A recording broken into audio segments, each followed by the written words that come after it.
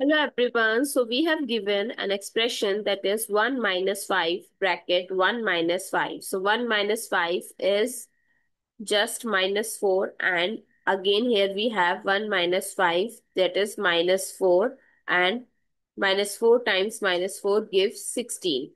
But this answer is not correct because according to the order of operation which is P E M D A S PEMDAS that is, P stands for parenthesis, exponents, multiplication, division, addition, and subtraction. So first we have to do parenthesis, then exponents, then multiplication or division, and finally addition or subtraction.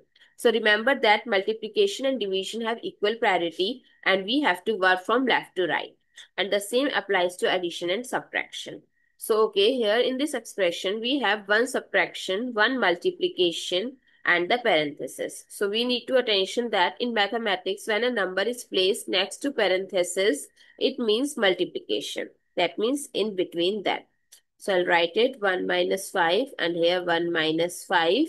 So we usually don't write multiplication sign. So here we have multiplication. So according to order of operation, first we solve the parenthesis. So 1 minus 5. Here 1 minus 5 is minus 4 and in between there is a multiplication sign.